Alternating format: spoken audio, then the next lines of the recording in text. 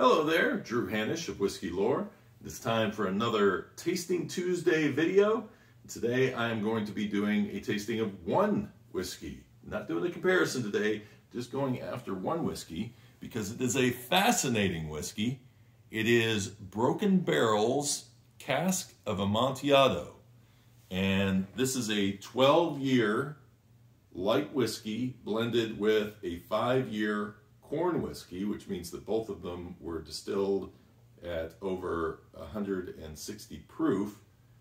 And then they would have been married together, and then they took staves of Amontillado sherry and put them in the whiskey to give it its flavor. So, unlike other whiskeys that are finished in a barrel, the barrel is actually finished in the whiskey, which I think is a fascinating concept because that means that not only are you tasting the age of the inside of the barrel, but you're tasting the age of the outside of the barrel as well. And these guys have a lot of fun breaking these barrels apart and then they, their Instagram and uh, so on and so forth will show you them breaking these things up. And uh, for me, I, that seems like a great job. You know, you got a frustrating day. Let's go out and break some barrels in in the uh, in the back there, and we'll start making some whiskey and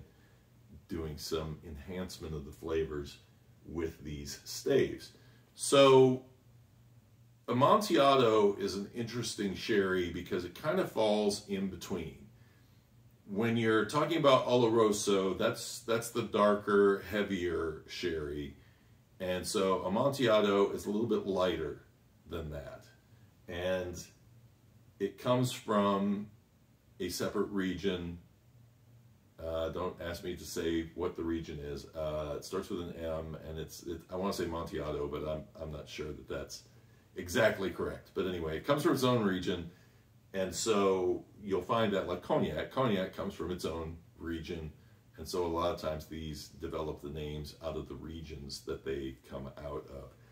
Amontillado is going to give you normally a very, you get some of that, that oaky, uh, nutty kind of a flavor out of it. You might get some of that old warehouse tobacco, and you, you're going to get some dark fruits out of it as well.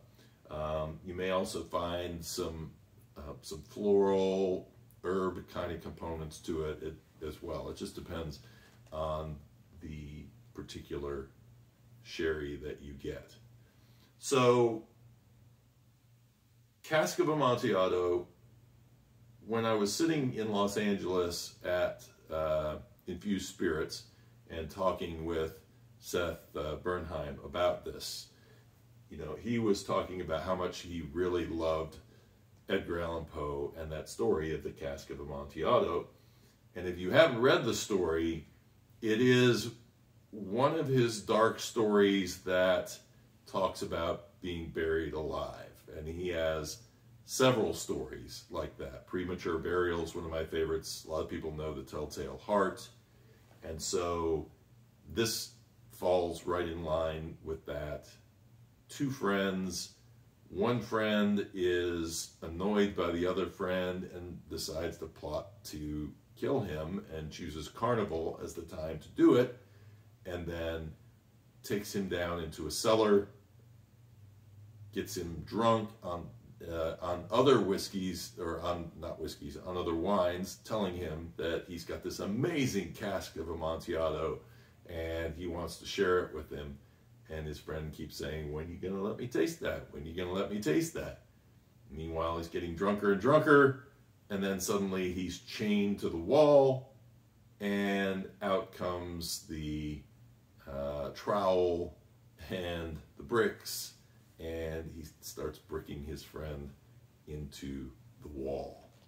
Very interesting story. So I won't give away the ending. You got to read it. It's it's a fun one.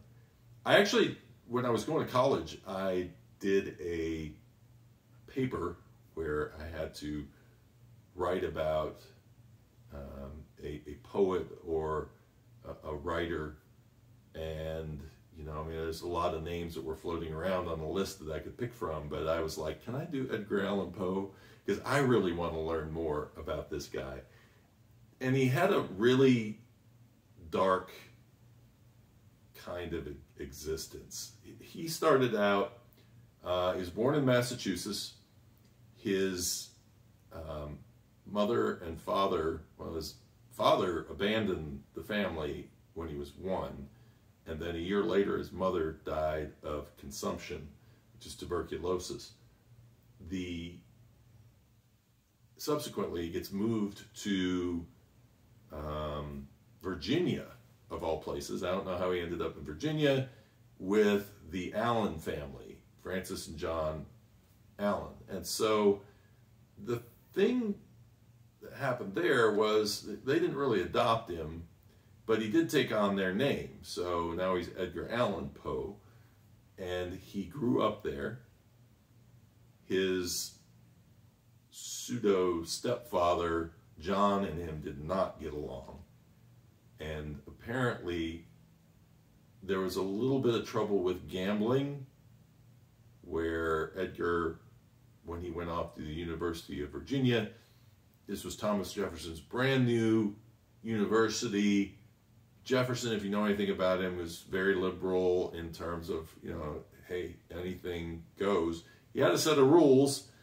Gambling and drinking were things you weren't supposed to be doing, but it really didn't seem to be enforced. So some gambling debts came up. Edgar was apparently not paying for his courses, and so he ends up shuffling out of the University of Virginia, and the family squabbles continued. Then he goes off to West Point. He ends up getting discharged, uh, court-martialed actually from West Point, and he kind of pushed actually for that. And then at that time he had started his writing. He was doing poems, and then he started writing more prose after that. He really wanted to make it on his own. And up to that point, there had yet to have been an American writer who could sustain himself off of writing. But Edgar was determined to do it. He had to take odd jobs. He was doing a, uh, he did some time as a critic as well as doing his writing and trying to get his stories out there. So he ended up marrying his 13 year old cousin, first cousin, Virginia Clemm. And then a few years later, it, and it seemed to be a happy marriage from all that I've read. And she was playing piano one day and singing, and she had a blood vessel burst in her throat. And then they realized that she had tuberculosis as well, and she ended up dying not long after that. And this is where Edgar's life starts to spiral, and his stories start getting darker and darker. And it ends up that he's in Baltimore there are multiple stories as to how he potentially died.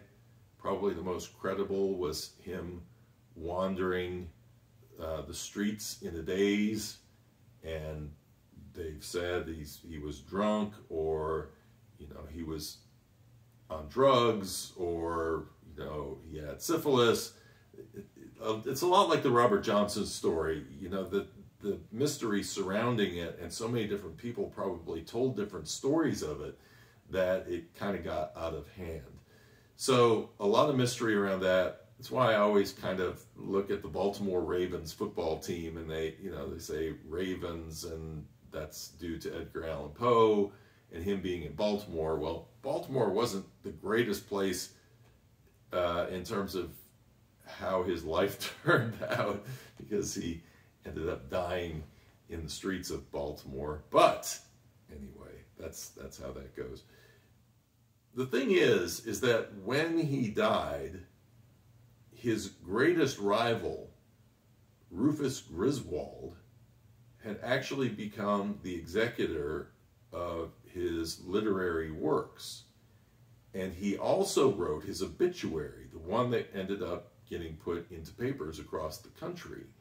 And he was bent on destroying Edgar Allan Poe's reputation. And so he called, he's the one that called him a drug addict and a madman, lunatic, anything he could ascribe to um, to Edgar Allan Poe that was negative, he was going to do that. And so a lot of the research that you do on Edgar Allan Poe, you start to realize that he really wasn't necessarily that dark of a person. He had his troubles, and he was trying to live a life that really wasn't a, a life that had been attempted in America before him. And so that's kind of, kind of how he ended up in the situation that he did. But anyway, I, I, love the story of Edgar Allan Poe, and I would love to dig in deeper on that. Maybe someday do a podcast episode around his life, but then that's going to be a series of episodes like Robert Johnson, because you cannot tell a man's life in one 20 to 30 minute episode. Just too difficult. So when you put your nose to this, and if you're you're used to American whiskeys, uh, you would you would anticipate probably that you're going to end up with some corn, uh, some of the oak, the vanilla, the caramel kind of standing out to you. That's not the case on this at all. This one, the nutty oak is there I don't really get the tobacco-y kind of thing that, that I would anticipate out of the, the nose on this. There is, you get some, um, I mean, it's 110 proof, so you do get some of that alcohol hitting your nose, so it's hard to take a really deep inhale on this. Yeah, the nuttiness stands out front. There's a little bit of probably a plum meets cherry, some kind of dark fruit coming through there. It has a nice baking spice, like a cinnamon baking spice to it. It really does nose a lot more like you would expect a Scotch whiskey to nose. But that that wood component is really strong on the nose. It almost overwhelms everything else.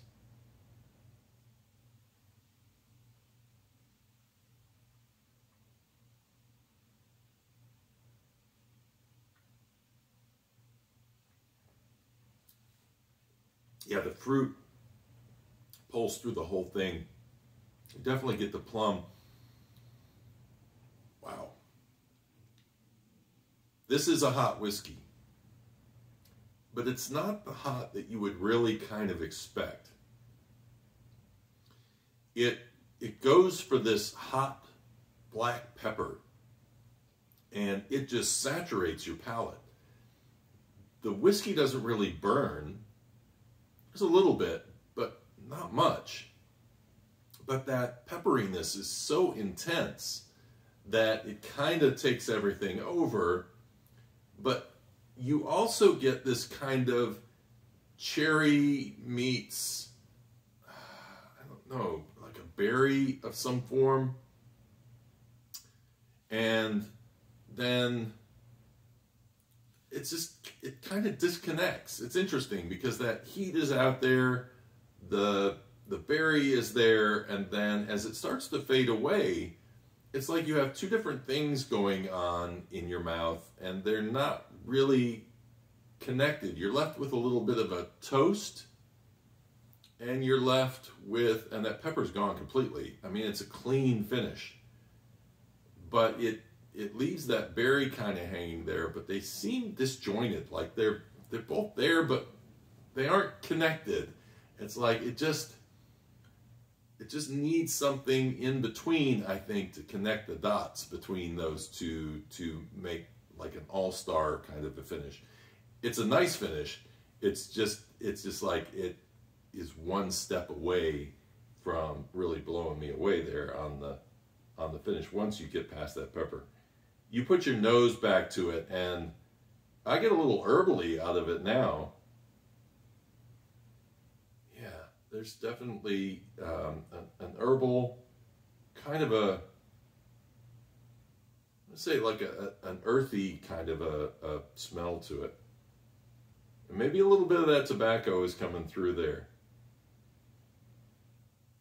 It's one of those things you when you know that's a, a something you should be nosing, really start going on a hunt for it. Yeah, it's an interesting whiskey. It's uh, on the Walker scale there. It's a it's a zero. Yeah, it's uh, it's interesting because I almost anticipate sherry finished whiskeys to have a little bit more of a reddish kind of a tint to it, but it looks just like what Scotch blenders think the perfect color for a whiskey is. So, yeah, that's a that's an interesting one. It definitely has a lot going on on the nose, the palate. Like I say, when it first hits your mouth, the pepper's not there, but then the pepper really comes in and knocks you out as you're going through into the finish. So this is a limited release bottling. When I was in Kentucky, I did see it. I saw it at a Total Wine in Louisville. So you can still get it, but they're numbered bottles, as you'll see there on the side, that this one is number 649 out of 6,600. And part of the reason that um, I ended up with this little treasure was I think because it was a scarred one that couldn't really sell. So, um, yeah, no, this is this is very interesting, and I think if you are a fan of um, of sherried scotches, you might actually find this to be a really interesting whiskey. I think part of the reason why the, the finish feels a little different is because they used light whiskey in here. And so that really high proof, you'd anticipate almost a thinner, more alcohol forward. I mean, you're basically heading towards vodka range in the ABV on this. But it, it really, uh, you know, I think that that may be what is different to me in tasting this one versus tasting some other whiskeys, and it'd be interesting to see. This is made with um, the um, the light whiskey comes the 12 year old light whiskey comes from MGP. The five year old whiskey, I'm pretty sure Seth said that that came from Green River, which is where they get most of their other whiskeys. And they do some ryes from there, and I love Green River's rye, which quarter horse is the one that I've had there. And so they're doing some really nice experimentation with that as well. So very interesting to taste this. Hope you enjoyed a little background on Edgar Allan Poe as well. Definitely somebody worth reading about. And maybe sip one of these while you are reading it and uh, get in the, the mood and taste what Fortunato did not have the ability to taste not giving any more of the story away. Gone too far, too many spoilers. And until next time, cheers and mhath.